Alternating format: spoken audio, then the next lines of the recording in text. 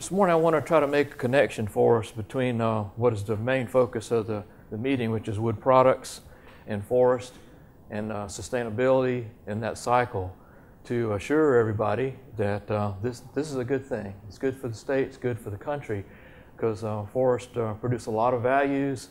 Timber is being one of those, and it can uh, not only does it produce a lot, but it can produce a whole lot more and it generates into a lot of jobs and economic activity for this state and for the country. So really happy to be a part of that. Why is the Forest Commission involved in this discussion? Uh, we have four primary areas that we work on, management, protection, uh, resource development, and then information and education. And it's really tied into all four, but most closely to the last, uh, last two we start talking about uh, inventory of wood supplies and creating jobs, uh, water quality, seedling, seedlings that we produce and uh, assist others with, information education clearly, you know, in that area right there. And of course, management allows us to do that. Active management produces forests, keeps them healthy, produces wood. And it's clearly stated in state code as far as what we're supposed to be doing. Our forests are uh, many and they're diverse looking out of here, it's quite interesting. I don't know which mountain I'm looking at here, but it's just a beautiful sight. I'm looking straight out and I see the escarpment over there, the Blue Ridge Escarpment. It's a pretty neat spot here, but of a state that's a little over 13 million acres, or a little bit more than that actually, is in uh, commercial forest. So about two thirds of the state. And if you started including urban and community forest, that number is even higher than that. That 13 is just what's actively producing uh, timber. So it's way up there. Uh, over half of that forest is hardwood, and uh, about even between pine and hardwood. About 24% is uh, planted pine plantations, and uh, that produces over half the wood supply, which tells you how important it is to be active forest managers and, and plant trees uh, to uh, get additional growth on the land and a better investment return for landowners, of which 88% of them are, are private landowners. And most of those are family forest owners, just like us sitting in the room here, not corporate. Uh, about 12% of that is uh, government. Hundreds of thousands of, of landowners, uh, 86,000 on more than 10 acres, and I think that the average is around uh, 80 acres apiece when you hit that level there. So it's a lot of landowners with a lot of parcels that are less than about 100 acres. But uh, growth exceeds harvest. We got more wood than we've ever had in South Carolina and they're at record levels. We have, of course, differences in ages of wood and different species, but all total, a lot of wood out there. And a lot of values that are also in the forest. And uh, things oxygen, wildlife, jobs, timber, aesthetics, carbon, uh, water production, quality of life. Uh, some of the little factoids in and around oxygen is that an average tree, whatever that is, I uh, read this in a piece from Georgia actually, produces enough oxygen for four, a family of four for a year, so four people. Um, it consumes, an average tree will consume the carbon emitted by four cars every year. One pound of wood grown, uh, for every one pound of wood grown, you get about a pound of oxygen and about a pound and a half of carbon sequestered, pulled out of the air, and put into a tree in a way that somebody can use it as lumber or plywood or, or paper or whatever. And then all the other things that kind of come along with that uh, wildlife uh, habitat comes out of uh, those forests as well. And then and, uh, many, many jobs, hundreds of thousands across the nation, and then uh, close to 100,000 here in South Carolina. And water quality, over 60% of the water that we drink and use comes from forests. It originates from forests. That's the first filter. And people have finally found out that if you have uh, good forest and vegetative cover, you don't have to have so much uh, filtration at your water plants. You know, Greenville right here has a huge watershed for that very same reason. And then the quality of life. Many benefits uh, to humans, uh, kind of the Maslow's needs there. You go down to ones for, for humans uh, food, shelter, water, oxygen, carbon, we talked about, timber, aesthetics, quality of life, and then, of course, to wildlife and fish, it's a very similar list. So it's uh, very, very important to the, uh, to the world there's a cycle that we like to refer to, uh, just simply the forestry cycle. And uh, you can talk about the landowners and managers, the folks that have the land and those that manage the land, and then those that uh, harvest the trees and process them and bring them into mills. And there are people out there that service all that, kind of keep it all going with gas, food, oil, tires, everything that you need to make that happen. And then it gets to a manufacturer. It creates the high value uh, products out of a, a, a raw material called wood. And the longer that value chain is, the more wood, uh, rather the, uh, the more jobs are created. Once again, private landowners are the key. Here's a, in graphic form, you can see that uh, they own almost all of the land out here and produce almost all of the wood that we, that we use in the state. And they are the key to that supply side. And management means more timber, more healthy, more sustainable forests. And this, this is a simple chart that shows how natural stands produce about a, a, ton per acre per year. That means if you just harvest an area and it comes back and uh, trees come back into it, which they will, and I've always pointed out to folks, don't be worried about uh, deforestation in the South, or even in the U.S. mostly, but in the South, if you don't mow your, your, your lawn, what happens? It's going to turn into a forest, isn't it? I mean, it's going to turn into grass and it's going to seed in. And you see an area that's been harvested, whether it's planted or not, it's coming back in trees. You can count on it.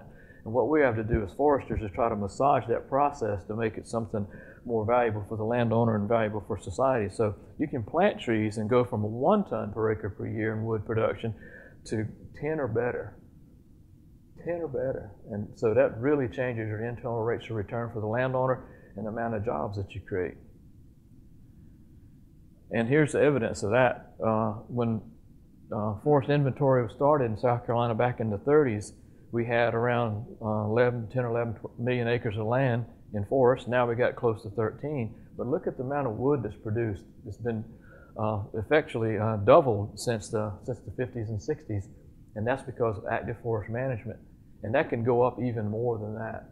That's just skimming the surface many, many jobs out there through uh, wood product manufacturing, which equals demand. We have uh, almost 100 primary mills, uh, 700, over 700 secondary mills, and a lot of that is where you folks will be talking today about secondary mills and what they produce and wood products and opportunities to do more with that, to utilize more of the wood. Once again, remember that the longer that value chain goes, uh, the more jobs that are created uh, so what we're doing there as far as using more wood creates more jobs and keeps them in South Carolina.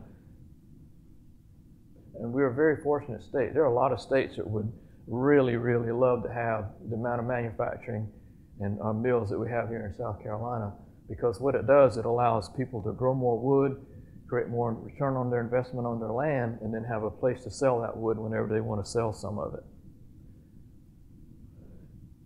So we need to keep that balance. And one of the ways that we know how to do that is a program called Forest Inventory and Analysis.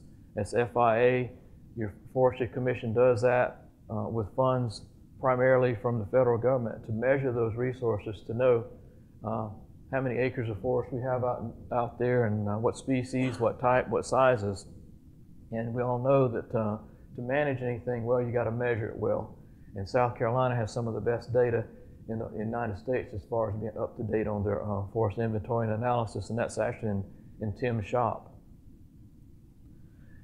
And what does all that do? It has a huge economic impact.